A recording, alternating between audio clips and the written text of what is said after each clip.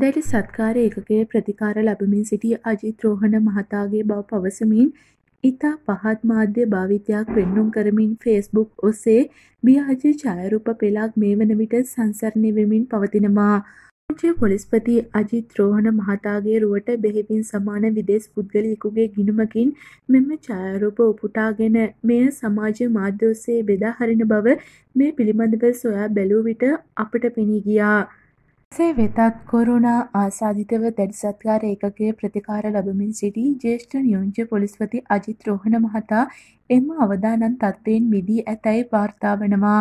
ඒ අනුව මේ වන විට ඒ මහතා දැඩි සත්කාර ඒකකයෙන් ඉවත් කර සාමාන්‍ය වාට්ටුවකට යොමු කරද තිබෙනවා.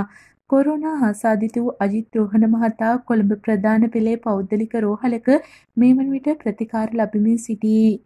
දින කිහිපයකට පෙර පොලිස් මාධ්‍ය ප්‍රකාශක ලෙස කටයුතු කළ අජිත් රෝහණ මහතා මෙරට පළමු කොවිඩ් රැල්ලේ සිට කොවිඩ්-19 මර්ධනය වෙනුවෙන් දිවා රෑ නොබලා බෙහෙස වූ අයෙක්.